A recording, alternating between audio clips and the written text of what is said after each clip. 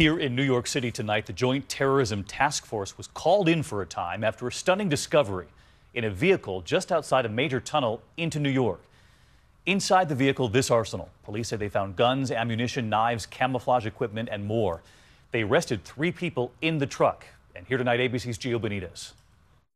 The arrest taking place during morning rush hour at one of New York City's busiest tunnels. This distinctive truck stopped by police for a cracked windshield, but inside, an arsenal of weapons found seven guns, including an AR type semi automatic rifle and a shotgun, body armor, knives, 2,000 rounds of ammunition, even a military grade helmet. He had the driver exit the vehicle and when the driver got out, he noticed a 45 caliber handgun on the driver's seat uh, that the driver was sitting on. But early fears of a terror connection gave way to something else. According to police, the three people in the truck said there's a reason for it all. They were on their way to rescue a 16 year old girl from a New York drug den.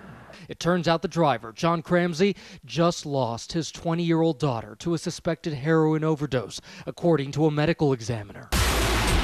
Cramsey, who owns a gun range in Pennsylvania, alluded to his plans to rescue the 16-year-old on Facebook, telling one of his friends, quote, "How about a road trip to New York to do an extraction? Saving a 16-year-old girl is priceless." And David, tonight Cramsey and those two passengers have been charged with illegal gun possession. And in another bizarre twist, police say they found the girl Cramsey was looking for, and they say she told them, "I don't need to be rescued." Police are still investigating. David